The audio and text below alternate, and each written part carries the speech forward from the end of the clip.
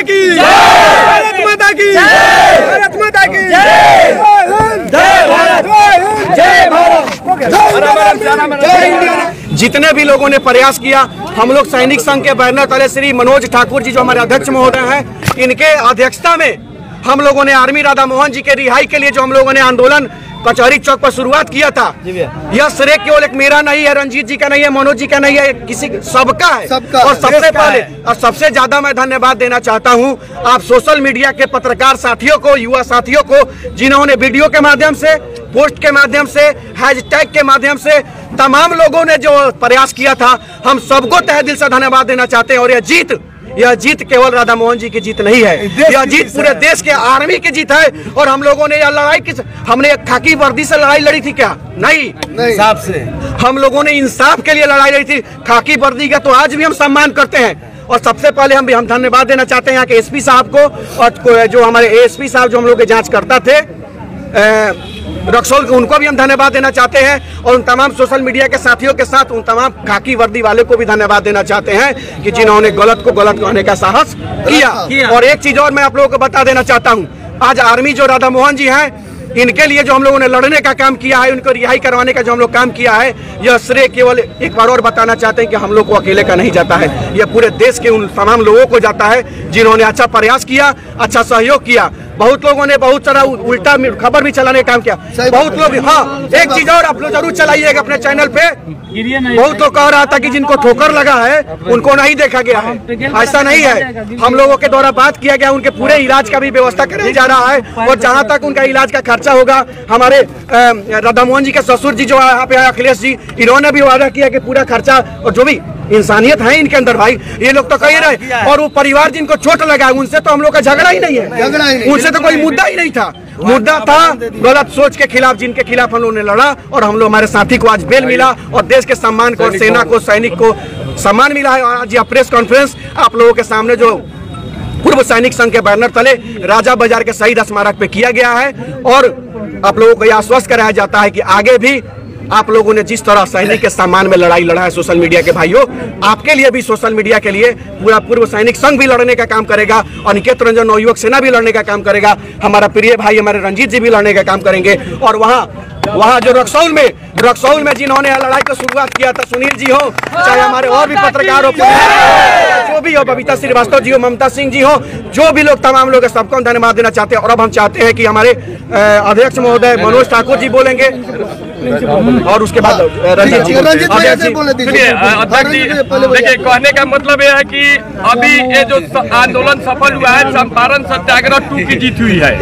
एकदम सत्याग्रह हम लोग किए हैं किसी तरह का कुछ नहीं हुआ।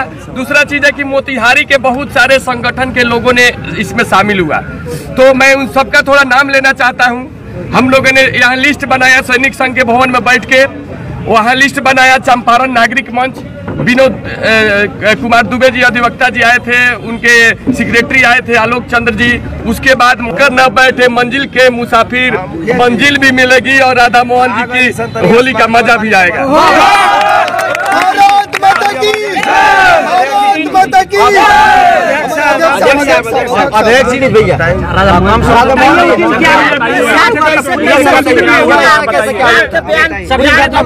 चंपारण की धरती पर बयान के रूप में जेल से बाहर आने के बाद तमाम मीडिया वालों को क्या कहना चाहेंगे जो कि मीडिया घटना क्या हुआ था शुरुआती से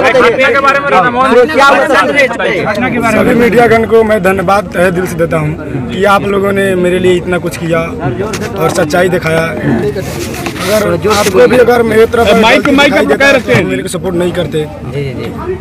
क्या हुआ था उस दिन कैसे हुआ था? थोड़ा एक घटना अब आप तो खुद वीडियो में देख चुके हैं। जी। अगर बोलने से अगर हो जाता तो मेरा हाल ही नहीं होता है बोलने से अगर मान जाते तो हम जेल जाने वाले थे। जी। मतलब फिर से तो घटना को थोड़ा हाथ छोड़ा है तभी भी नहीं छोड़ा गया एक सेकंड। इस घटना को अपने मुख से थोड़ा दर्शाइए प्लीज़।